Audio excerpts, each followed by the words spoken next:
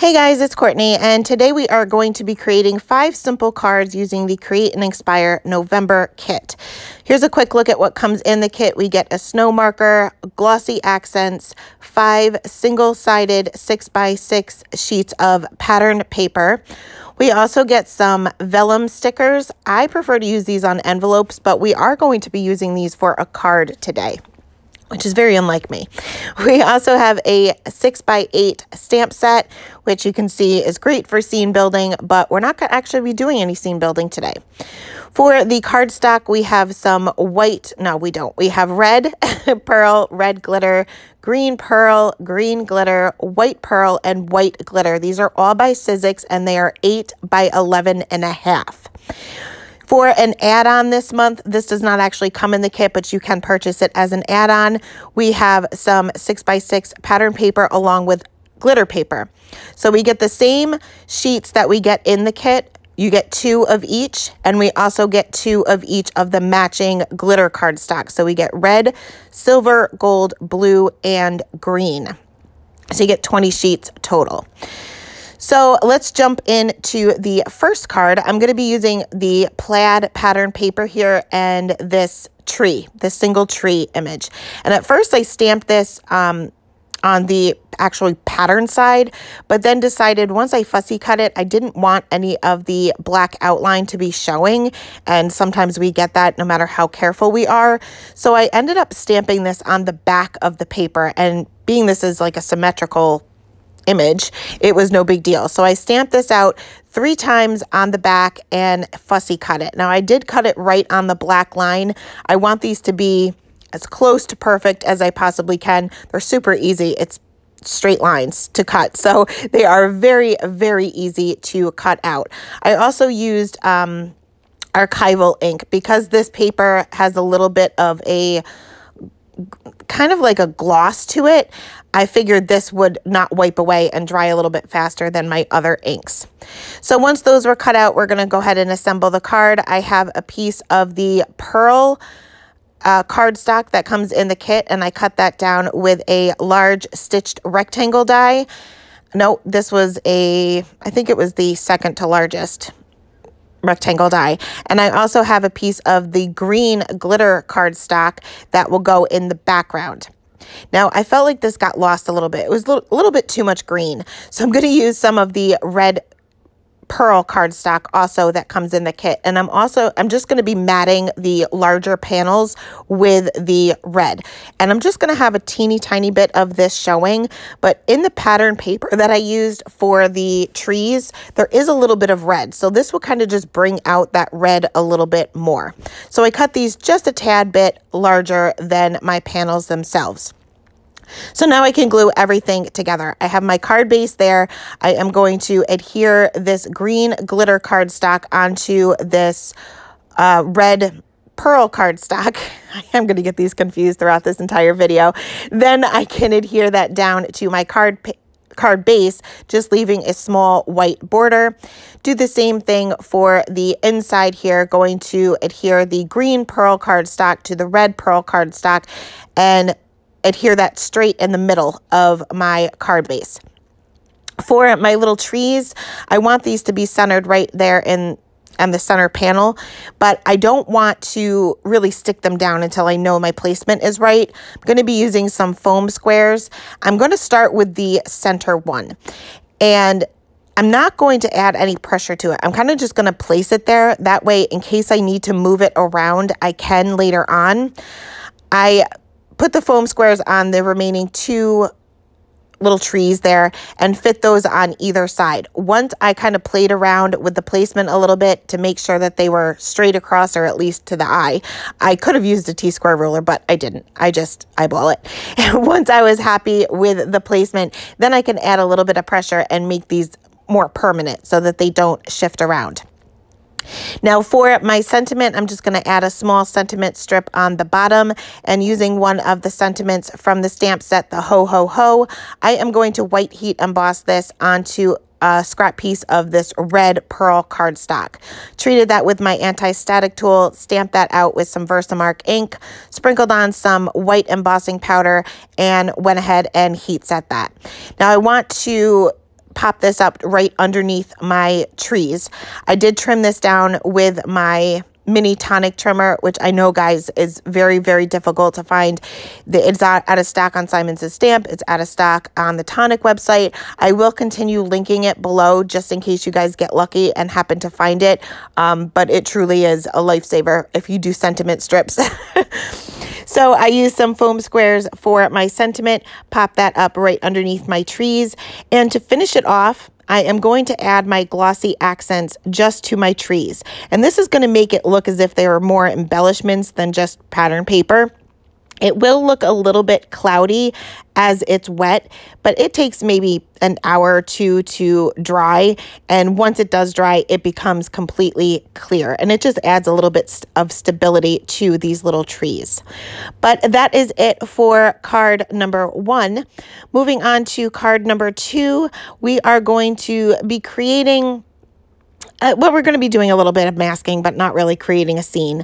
I have a piece of the uh, Simon Says Stamp masking paper, and I'm going to stamp two of these little presents and fussy cut these out. Again, straight lines, very, very simple to fussy cut. Next, I'm taking a piece of Neenah Solar White 80 pound cardstock, and this is cut from the um, stitched hexagon. Is this a hexagon? I think it's a hexagon. I'll link it below. It's by Honeybee Stamps. and I'm just going to use those masks as placement.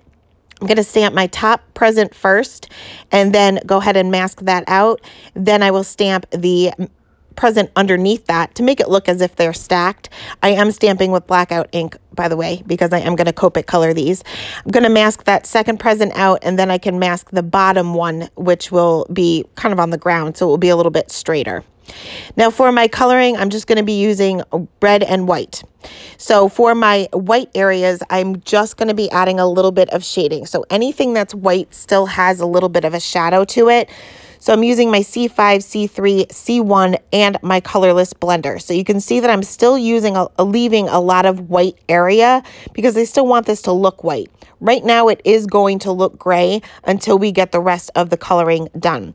And I'm kind of just going every other one every other present. So the ribbon on the top and bottom, and then the actual wrapping paper on the middle one. Next, I'm going to color the red areas, and I just left a little bit of the coloring in so that you can see the color combinations that I use, as well as the way I shaded them. But really, I didn't put too much thought into the shading at all.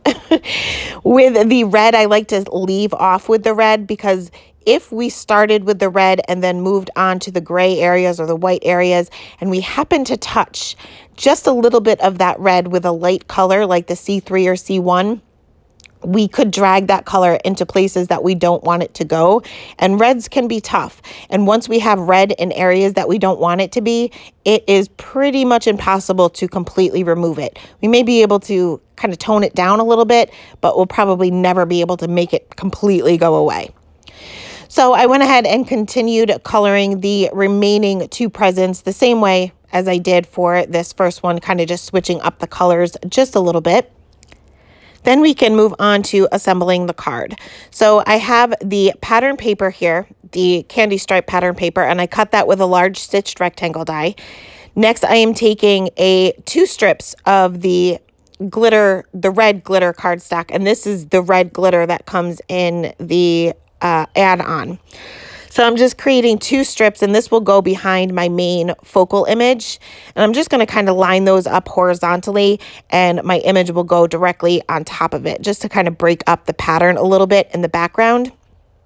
I'm also going to cut a piece of the glitter cardstock just a little bit larger than my panel to have that matted on there um, just to kind of create a little bit of a border. You guys know how I like to do that. so I'm going to glue my pattern paper to that large piece of the glitter paper and then onto my card base. That way I have that red border as well as a white border from the card base itself. And then I can adhere my strips.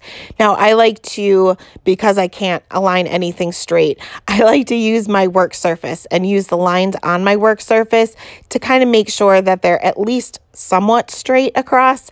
I'm using wet glue because as you'll see, I did have to kind of shift these down a little bit um, just to make sure that my focal image wasn't too high up. I wanted this to be a little bit more not, not centered, but I wanted a little bit of the pattern paper showing on the top.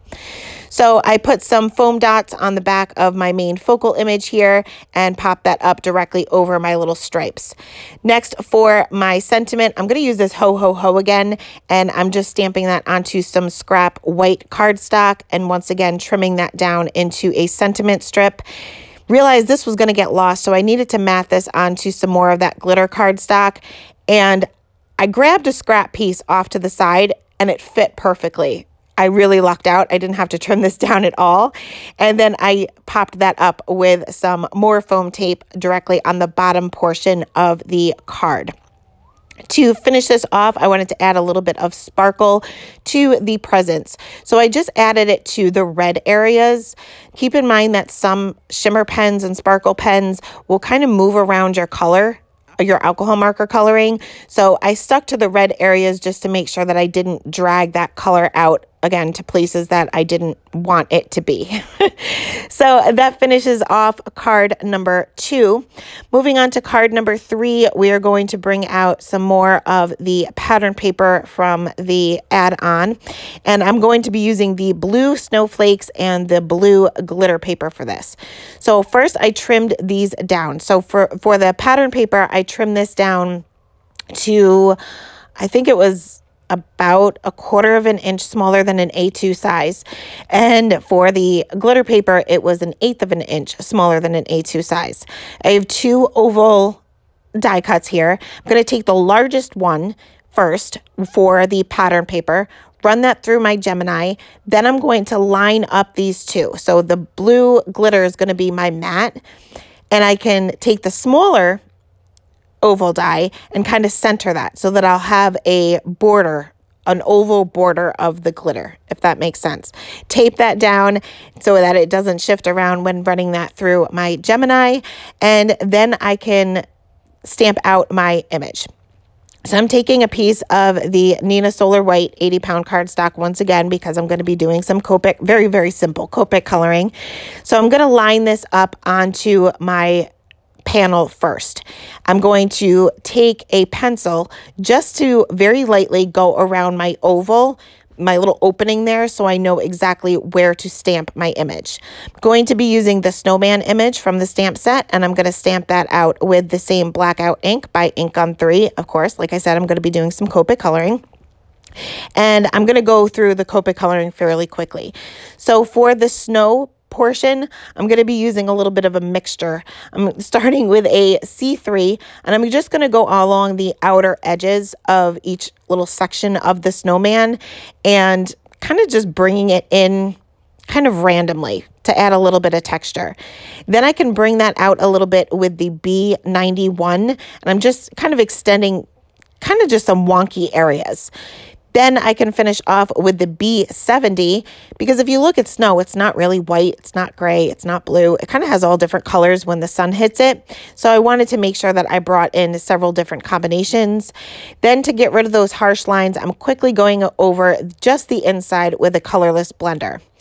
So I finished up with the rest of the snowman there, and then I'm going to move on to a blue combination for his hat and his scarf. And I'm using the same combination for both. I started out with my lightest color to get the paper saturated and to map out my darkest areas. Then I can go in with the darkest color. Now for his hat, it's bent.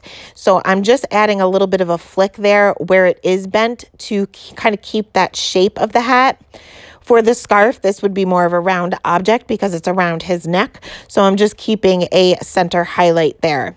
You can also see the hat has more texture to it. So I'm kind of where it's indented in, I'm adding a little bit of shading there too, and just extending that out each and every time. And you'll see how much that adds shape to the hat once you get to the lightest color. It looks a little bit weird until you actually finish it. So just keep going. It doesn't matter if it looks weird as you go, as long as you kind of get the idea once everything is said and done.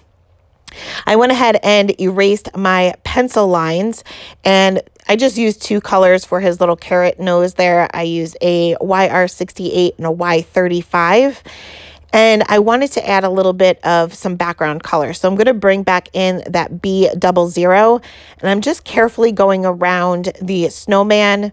You're not going to see all of this. So I'm kind of just scribbling on some color there just to add some color to the background. You can certainly do ink blending, but I figured I didn't want to do any masking, so I'm just going to use the B double zero that I already have on my desk. I placed the a little oval die cut piece over it just to make sure that I went out enough with that color. I do have some streaky areas, so I'm just going to go over this again to kind of even out some of those streaky lines. And you're going to get that no matter what kind of alcohol marker that you use. But the more you go over it, the more it will even out that color. It will appear a little bit darker the more times you go over it, but it will certainly even it out. So once all of my coloring was done, we're going to add our snow and the little pom-pom on his hat and the base of his hat with the snow marker. So if you guys have never used one of these, they're super easy to use. They're kind of like a paint pen. So I'm going to take a little scrap piece of paper here and as you dab it down, you can see all of this liquid come out. So anytime it seems to be a little bit dry, just press it down and you'll notice that more liquid will come out. I'm kind of just dipping it into that big puddle that I made there because why waste it? and I'm just adding where my snow is. Again, I just kind of lightly put my oval piece down to make sure that I'm going down far enough and ended up having to go down pretty far. Now you're supposed to let this completely dry. It doesn't take long, maybe five minutes, but I'm impatient. I gave it like one minute.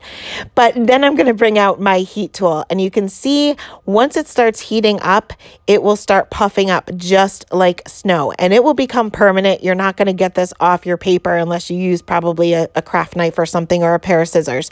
So it will stay put. So once that's done, we can assemble the card and it's pretty simple to assemble. I am going to adhere my pattern paper to, well, first I adhered my main panel down to a card base. And this paper, by the way, is um, an A2 size, so it fits perfectly onto the card base. You may have to add a little bit extra adhesive in the center because I you can press right on the snow. It's not going to do anything, but it may be a little bit warped because of the heat that we added. So I just added a little extra adhesive. Then I can adhere my pattern paper down onto my glitter paper, leaving a border on all four sides and of course in the center where my oval is. And then I'm going to pop up this entire panel. I'm out of foam tape, so I had to use all the foam squares on the back of this entire panel. Um, normally, I would use foam tape for a large panel like this, but I just don't have any. So this worked out fine. It was just a little bit more time consuming than the foam tape, but it worked. So I can remove the backing of all of my little foam squares there and then adhere that down trying my best to center it so that I can see my little scene there through the oval pieces. I didn't bother with a sentiment on this one. I figured this was good to go. I can put a sentiment on in the center. So that is it for card number three. Moving on to card number four, this is where we're going to bring out some stickers and I'm going to be using the white pearl and the white glitter cardstock. I cut down my glitter cardstock to be I believe it was a quarter of an inch smaller than an A2. So it's five and a quarter by four. And then my pearl cardstock is just about an eighth of an inch smaller than that. I'm going to take another one of these hexagon dies and cut that from the center of the pearl cardstock, then bring out my stickers.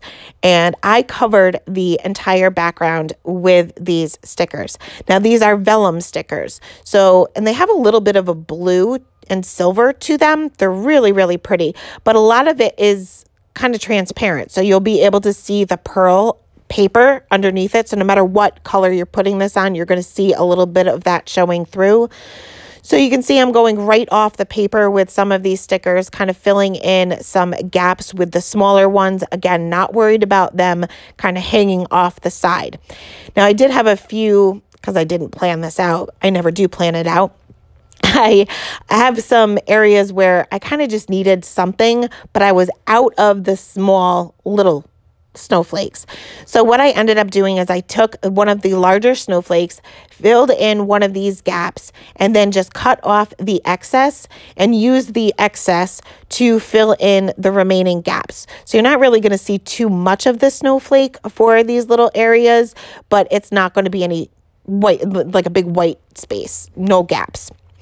So I kind of just fit those wherever I needed them. And then I can trim off any of the other excess little stickers that are kind of hanging off the side for the rest of the panel. Now for my sentiment, I am going to do some silver heat embossing because I feel like this matches the snow the best. This is almost going to be like a white on white with a little bit of silver and a little bit of the bluish silver that is in these stickers, but pretty much white on white. And honestly, this was the easiest card in the world, and it is my favorite out of all the five that we created today. So this is going to go directly onto, you can see how sticky these stickers are. This is going to go directly onto that glitter cardstock. But for my sentiment, I'm going to take this leftover piece that I cut out the center of, and I'm just going to cut along the stitched line. Now, if yours doesn't have a stitched line, just take a little bit off or use a smaller die if that works. But I wanted a little bit of the glitter to be showing, but I still wanted this to kind of be big enough for my sentiment. So I'm going to treat this little die cut piece or cut down piece with my anti-static tool and I stamped out the large Merry Christmas from the stamp set with some very dirty Versamark ink and then sprinkled on the silver embossing powder and this is the silver embossing powder by Hero Arts. And once again, making sure that my heat gun was heated up for about 30 seconds or so. This will minimize the amount of warping that you have on your cardstock. And I went ahead and heat set that. Now, assembling the card, super simple. I am going to use a white card base, regular A2, and I am going to adhere this pearl cardstock with all of our stickers on it onto my glitter cardstock. So when you're adhering this down, you want to make sure that you're adding adhesive not only to the edges, but around that die cut piece in the center to make sure that it sticks down flat. So I'm having a little bit of a border of that silver no, not silver, white glitter on the all four sides. And obviously you can see it through that die cut piece. Adhering that down to my card base. And then I am going to pop up the center piece with some more foam squares right there in the center so that I have a little bit of the border of the the glitter showing. And that's it. I kept it just like that. And I thought it was super pretty. Moving on to the fifth and final card for today, I am going to be using this little North Pole sign here from the stamp set. I'm going to be masking this out. So I'm going to stamp this onto some Simon Says stamp masking paper and then stamp it onto my Neenah Solar White 80 pound cardstock right there in the lower right hand corner. Now the way I cut this mask is I obviously cut the image just like I normally would right along that black line, moving the paper with my less dominant hand while keeping my scissors somewhat straight with my dominant hand. Now when I get to the snow, I'm just extending it. So I'm kind of just making a curve, I guess, or a little snow hill. There's little lines on the bottom of the image, but I kind of just extended them. There's really no right or wrong way to do it. So once I have that fussy cut, I can line that up directly onto my stamped image. I started on the top, line this up on the top, and kind of just let the rest fall into place. If you start on the bottom, especially being we kind of made it up, it may not line up perfectly. So always start with the most intricate area and the rest kind of just falls into place. Now I am going to add a little bit of color to the background. So I'm going to bring in some of the Clear Sky ink, Clear Skies ink by Simon Hurley and a blending brush. And I'm kind of tapping that off on some scrap paper because I don't want a ton of ink down. And I'm starting uh, from the bottom, working my way up and around the image, kind of fading this off to white. Now I chose the Simon Hurley ink because I like these if you only want a light color because it all depends on how you want it. You can go in with really light pressure and get really light, subtle results, just like I wanted. With sometimes the oxides, I have a hard time achieving that. So I went ahead and colored that. I didn't bother to show it to you because I used the same combinations as I used for the previous card. I added a little bit of color to the snow on the bottom with the B70 and a colorless blender. And then I'm going to go ahead and trim this down. So I trimmed off a quarter of an inch on the bottom of the card and then three quarters of an inch on the one side, the opposite side of where my image is. I'm going to take some more of this pattern paper. I'm going to cut a strip of this candy stripe for at a, was that half an inch, I believe it was, and then a quarter of an inch for the glitter cardstock. I'm going to stamp out my sentiment with some lipstick red ink by Simon Says Stamp. And I'm just going to use this Merry Christmas because it's still on my acrylic block from the previous card, so I figured why not use it. And I'm just going to stamp that kind of in the center-ish, uh, a little off to the left. Then I can assemble my card. Super simple. I have a panel here that is five and a quarter by four, and I'm going to adhere my panel down where I actually have my image off to the right hand side. Now I prefer to use wet glue. Again, that's just my personal preference. But for something like this where you have multiple sections of your panel, it's probably best to use wet glue because it gives you a couple of seconds to shift things around as you need to. I laid the strip of pattern paper all the way off to the left and then filled in this little gap with the glitter cardstock. Once my glue set for just a couple of seconds, I can snip off any pieces that are kind of hanging off the side and then adhere this down to my white card base and I have just a little bit of a white border showing because this is just slightly smaller than an A2 size card. I finished off with some glossy accents to the North Pole itself and that is it for card number five. Here's a quick look at all five cards that we created today. The Create and Inkspire kit is available today right now to members and for non-members members, it will be available on the 10th. Kits start shipping on the 10th to everyone. so I will link that below along with all of the other supplies that I use in today's cards. Thank you guys so much for stopping by and have a great day. Bye.